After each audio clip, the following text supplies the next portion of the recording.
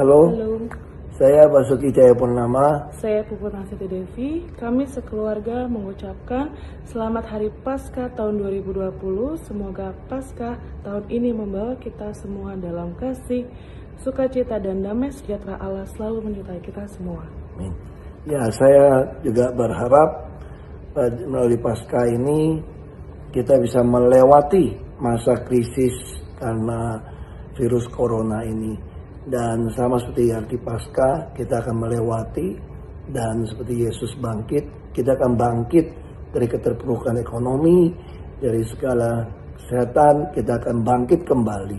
Dan kita tentu yang diberikan Tuhan untuk bisa bangkit melewati ini, kita akan memuliakan nama Tuhan, kita akan bekerja untuk kemanusiaan, menegakkan kebenaran dan keadilan dan pri kemanusiaan. Salam tangguh dan salam kemanusiaan. Tuhan memberkati dan melindungi kita. Amin.